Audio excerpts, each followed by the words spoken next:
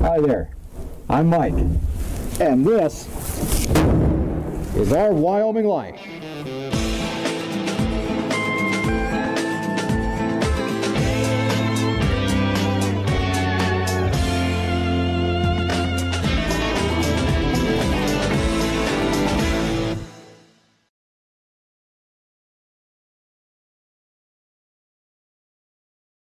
This is the calf warmer. It's the first time I've ever sat in it, and I have to say it's not very comfortable. But over the years, it's saved a lot of calves' lives. Calving is coming up soon. In fact, we could have our very first calf any day now, and that means it's time to get ready for that time of year. Calving goes on for months. There are 160 pregnant cows out there, and every single one of them is crabby and tired of being pregnant. Some more than others. But ask any pregnant woman, and I think that she'll tell you by the end, she was probably ready to be done. And for me, that's when things start to get interesting. This is Marvin the Green Martian Calf Head, and he's going to help us today as we take a look at the tools of calving. 90% of births out there are done without any help from me, but that leaves 10% that are going to need some type of help, whether it's help being born or medical help after they're born. That's 10% if the weather is perfect for calving. That means no heavy snow or no super cold temperatures. But if we do get a big spring snowstorm, that means wet and heavy snow. And then every single calf out there is going to be depending on us to live. And those make for long days, as you're going to find out. But before we get to those long days, we have to get ready. Somebody said that success is 90% preparation and 10% perspiration. We spend a lot of time here getting ready for calving because every calf that lives means success for the ranch.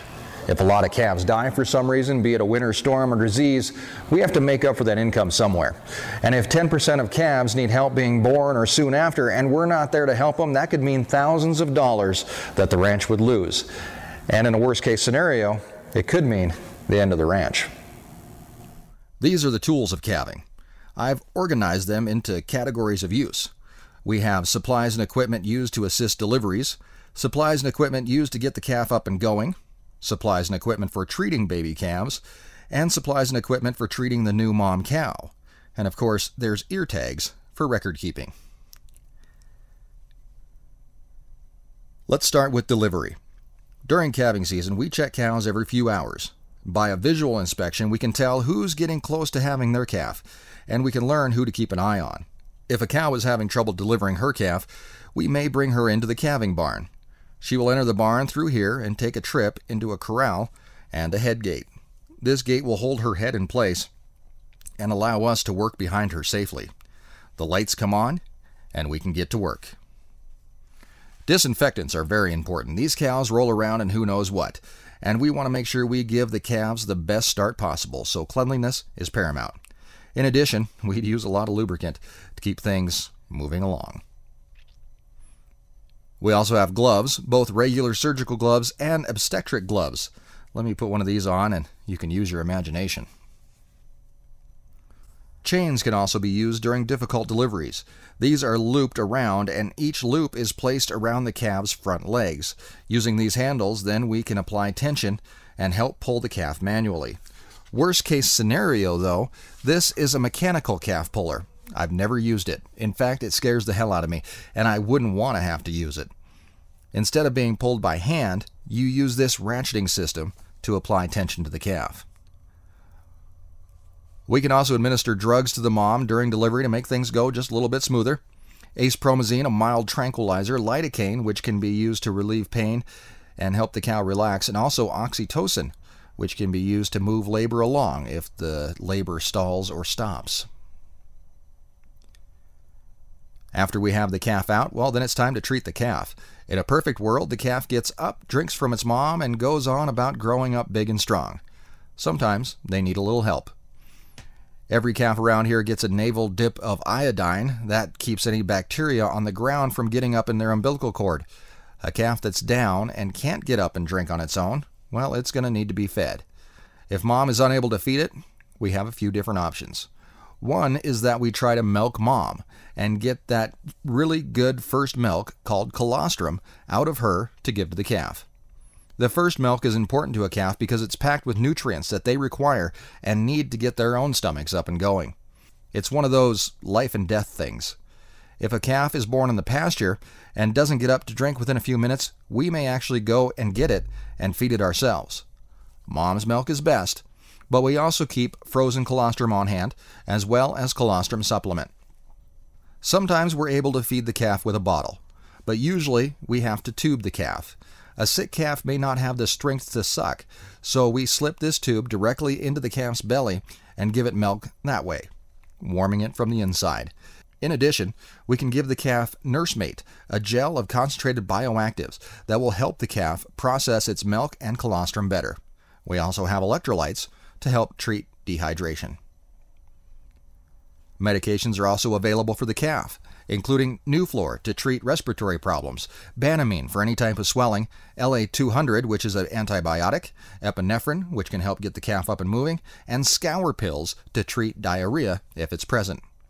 Giving a calf a pill is actually pretty easy. Using this tool, you insert the pill into the back of the calf's throat and eject it as far back as possible. A new tool that we have this year is a calf resuscitator and aspirator kit from McCulloch Medical. When calves have stressful births, there is a possibility that a calf can actually breathe in mucus or amniotic fluid. We need to get that out, and this tool is placed over a calf's nose and mouth. The suction is activated, and it will suck out the fluid. Then you spin it around, and you can give the calf breaths of fresh air to help get its lungs working. In the past, we used to do this by lifting the cow up and letting gravity drain the fluid from its lungs, which can be a little bit difficult with a 100 pound calf. Then, if the calf needed breaths, we would actually give the calf mouth to mouth. Hopefully, this new technology will save lives here on the ranch and on other ranches as well.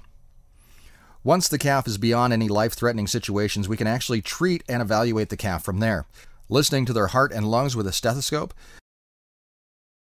and monitoring both calf and mom's temperatures, checking for anything from infections to hypothermia. New mom cows can sometimes need a little help at this stage as well. They might be running low on energy and they could require dextrose in IV, or older cows might need calcium to get them up and moving after a really hard birth. In addition, we could end up with an orphan. When cows have twins, we normally take one of the twins from her. Two calves can be really hard on a cow, and we will bottle feed one of them to take some of that work off the cow. If another cow happens to lose her calf during that time period, then we can try to graft the twin calf to the lonely mom. This is Orphan No More. It's a powder that you actually put on the back of an orphan calf. The foster mom will lick the powder off, forming a bond between her and the orphan, and soon they are their own little family. I've had good luck with it, but it's one of those things you hope you never have to use. In fact, I hope I never have to use any of this stuff, but we will. And it's better to have it and never need it than to need it and never have it. One thing that we will use with every single calf is an ear tag. It's important to know which calf belongs to which mom for a number of reasons. You can learn who's a good mom, you can track growth, but one of the most important reasons is to reunite mom and calf. They will get separated, and they will need help. This is another reason that we try to be present for each birth here on the ranch. It's easier to tag a calf that's newly born rather than trying to chase and catch one that's even a few hours old. Marvin will help us out again as we take a look at how tagging works. In a calf's ear, there are three arteries, one large vein, and three runs of cartilage. The trick is to tag the calf between all these obstructions to limit bleeding and pain for the calf.